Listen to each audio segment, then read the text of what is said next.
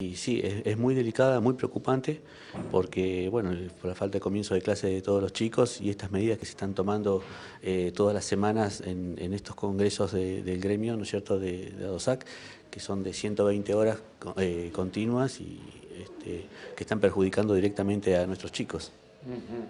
Em, bien, eh, ¿qué medidas ha tomado en estos últimos días como para salir de esta situación? ¿Qué se puede hacer desde ese lugar? Bueno, hemos tenido diálogos con muchos papás. Te digo, esta semana he hablado con mucha gente también muy preocupados de, las localidades, ¿no es cierto?, de, Santa Cruz, donde están accionando de diversas formas.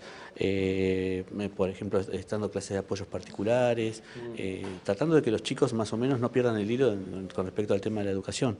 alumnos que están yendo a, estudiar a Comodoro, a Radatili, a escuelas de la... Eso, mira, fíjate vos, hoy me comuniqué con gente de... estuve saliendo por un medio de allá de, los antiguos y me estaban comunicando eso, que hay mucha gente que se ha ido a estudiar a Comodoro, han pedido pases, ¿no es cierto?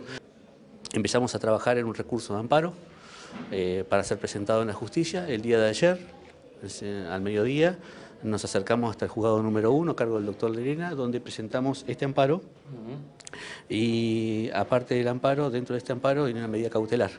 En la medida cautelar, se, que, para que ordene ¿no es cierto? el cumplimiento inmediato y urgente del dictado de clases eh, en todos los niveles, ¿no es cierto? para todos los chicos. Esperemos prontamente el dictamen del juez y que, nos, cite, y cite las partes para el diálogo. ¿Hay responsabilidades compartidas hablando de partes entre gobierno y docentes? ¿Cómo lo interpreta? ¿Cómo, ¿Qué lectura hace? No, no, en ese, en ese sentido sí, sí, sí, totalmente. Vos fíjate que en la provincia de, Buenos Aires están, están yendo los chicos a clases. Si bien hay un conflicto, mm.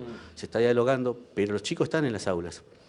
Nosotros lo, pedimos, lo que pedimos es lo mismo, que los chicos vuelvan a las aulas, que se sigan, ¿no es cierto?, trabajando, eh, hablando, tanto el gobierno como los, como los gremios, pero que eh, no perjudiquen más a, los chicos. Eh, yo lo he dicho ya en varias oportunidades, pero me parece un ejemplo bastante razonable, ¿no? De uno dice, los problemas de grandes se arreglan entre los grandes. Ahora cuando los grandes utilizan a los chicos para cumplir sus, sus propósitos, esto es realmente muy lamentable. Y es lo que hoy está pasando, ¿no es cierto? vemos que los chicos eh, y, tanto muchos padres de la provincia eh, este, han comprado las cosas para los chicos, han hecho bueno, toda la inversión a principio de año y la tienen acumulada en la casa y todavía no, no, pueden, no se puede comenzar.